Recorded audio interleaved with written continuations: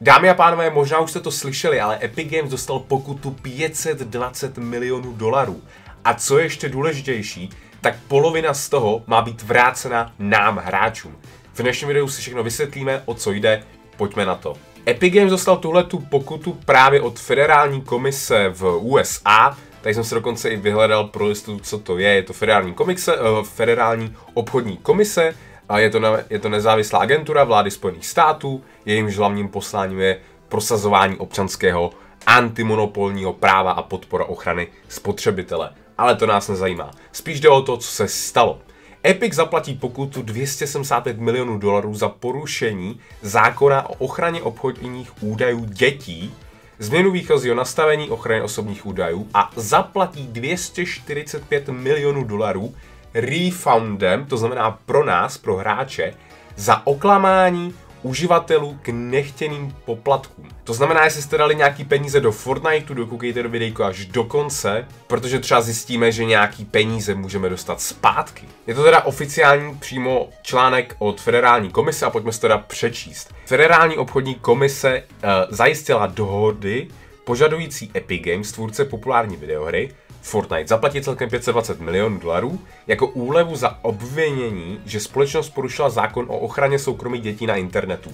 Proto Fortnite, nebo spíš Epic Games, kdo nevíte, tak nově, když si teď zakládáte účet, tak tam musíte vybrat, kolik vám je let, ale to už bylo. Ale nově udělali to, že když tam vyberete 13 let, pod 13 let, tak vám za prvé účet musí uh, potvrdit uh, dospělej, to znamená rodič, uh, e-mailem, a když vám tohle potvrdí, tak ani potom například ve Fortniteu nemůžete používat voice chat. To je první nová věc, Epic, kterou uh, teď vymyslel a myslím, že to bude souviset i s tím.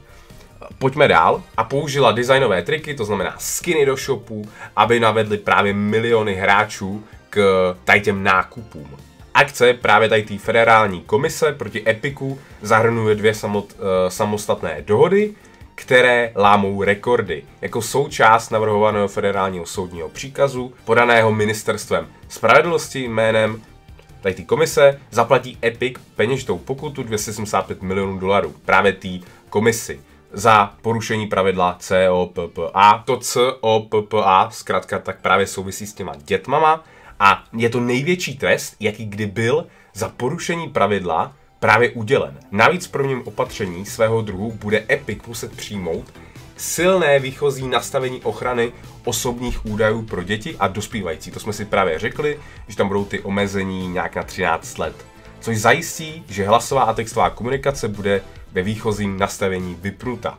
A na základě samotného navrhovaného správního příkazu zaplatí Epic 245 milionů dolarů, které má vrátit právě spotřebitelům, to jsme my hráči, právě těma skinama a praktiky účtování. To znamená, co si třeba koupil na Epiku, to nemusí být jenom Fortnite. Což je největší refoundová částka, která tady ta komiks, komise v herním případě, myslím, že udělila a její největší správní příkaz v historii. Jak poznamenávají naše stížnosti, Epic používal výchozí nastavení invazní k ochraně soukromí a klamání uh, právě hráčů nebo dětí, která oklamávala uživatele Fortniteu, včetně teenagerů a dětí. Videohra Fortnite společnosti Epic je obecně zdarma ke stažení a hraní, ale uživatelům se účtuje poplatky za položky ve hře, když si něco kupuješ, jako jsou kostýmy a taneční pohyby, jasný. Hra má více než 400 milionů uživatelů po celém světě a právě tady ta federace ve dvou samostatných snížnostech tvrdila, že společnost Epic se sídlem v Severní Karolíně, takže jestli jste nevěděli, kde sídlí Epic, tak to je Severní Karolína, se podílela na několika nezákonných praktikách. Tady se jenom dále řeší, že to právě už řešili 2017 a to není tak důležitý, spíš bych se právě podíval na to, jak to bude teda s těma refundama.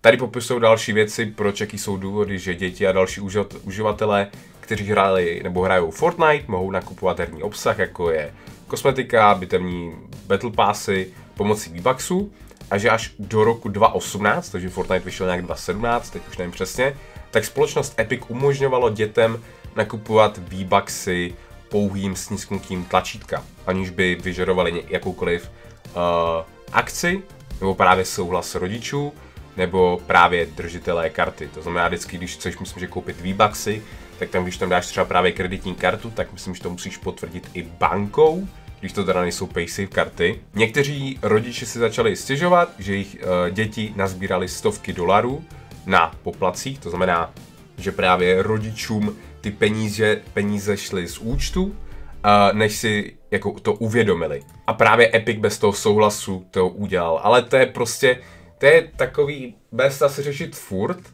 ale co si budem, když si třeba založíš Facebook, možná se to taky tak měli, nebo určitě byla nějaká aplikace, věc, kde jste si třeba dali fakeový datum, nebo fakeové narození, abyste tam byli starší, abyste měli přístup k dalším věcem, takže tady to je úplně stejný, jo. Když to ale projedeme dál, uh, tady ta komise vznesla podobné nároky proti společnosti jako je Amazon, Apple a Google. Když pamatujete si ještě tu kauzu Apple a Fortnite, no, tohle ale asi Fortnite nevyhraje. Že spotřebuje tomu faktory miliony dolarů za nákupy v aplikacích, které provedly děti při hraní her v mobilních aplikacích, aniž by získali souhlas rodičů. Já si ale taky myslím, že by to měli právě ty rodiče hlídat, co ty děti dělají a bylo by to v pohodě. Dále tvrdili, že společnost Epic zablokoval účty zákazníků, kteří si o, svý, o svých uh, společností vydávajících kreditní karty spochybnili neoprávněné poplatky, spotřebitelé, jejichž účty byly uzamčeny, ztrácejí přístup k veškerému obsahu, který si zakoupili, což může dosahovat až tisíc dolarů. Ty vem si, že dítě do toho dá tisíc dolarů, no to je 22 tisíc, no. I když Epic souhlasil s odemknutím účtu, byli spotřebitelé varování, že mohou být doživotně vyloučeni, pokud pochybní jakékoliv budoucí poplatky, že by dostali unban a potom by soudili Epic, že to tak nebylo. Epic ignoroval více než miliony stížností uživatelů a opakované obavy zaměstnanců, že obrovské množství uživatelů bylo neoprávněně účtováno. Prostě, že děti nakupovali easy. Ve skutečnosti Epico, Epic uh, změny problém, uh, problémy jen zhoršily, tvrdila ta komise pomocí interního testování Epiku účelově zakryl funkce zrušení a vrácení peněz, aby bylo obtížnější je najít. Já ani nevím, já jsem nic snad na Epiku nikdy nerefundoval. A teď je to nejzajímavější, co se může týkat i vás. Já nevím, jak to bude fungovat, ale když to tak dopadne, tak Epic bude muset vrátit 245 milionů dolarů. A já si teda myslím, jestli to teda bude jako sedět možná na všechny hráči, když to nebude pod 13 let ty účty, tak si myslím, že asi jako jestli máte, co jste do toho Fortniteu něco dali, tak teoreticky by tady ty peníze mohly rozdělit mezi nás, ale ještě to není snad nikde potvrzený.